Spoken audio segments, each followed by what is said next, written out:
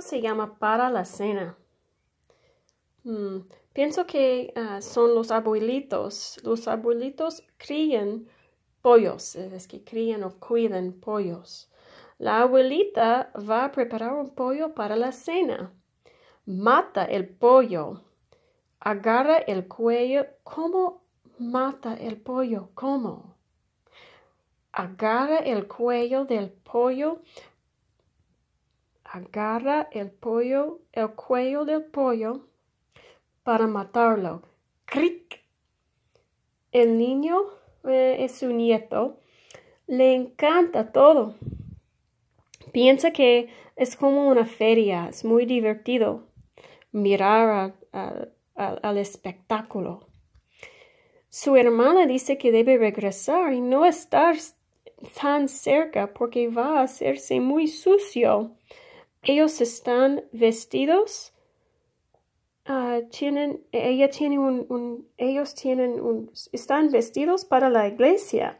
Son muy, tienen vestidos muy bonitos y finos y él lleva una camisa y unos pantalones y no es para jugar, es para, para ir a la iglesia. Es muy formal, es ropa muy formal pero ellos comen es después de la iglesia.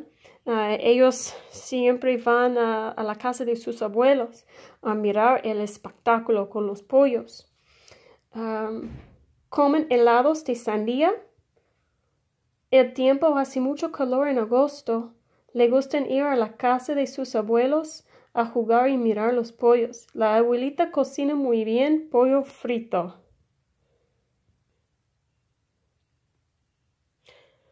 Para la cena.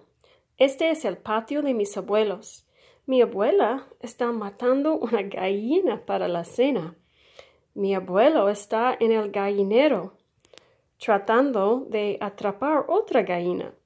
Más tarde mi familia se sentará a comer la cena el domingo, sopa de pollo. Esa vestida de azul soy yo, con mi hermano menor, Arturo. Él se sorprendió tanto con lo que vio que empezó a dejar caer la raspa. Nunca habíamos visto algo parecido.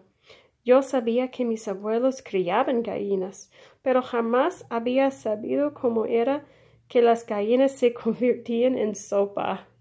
Qué sorpresa, ¿no?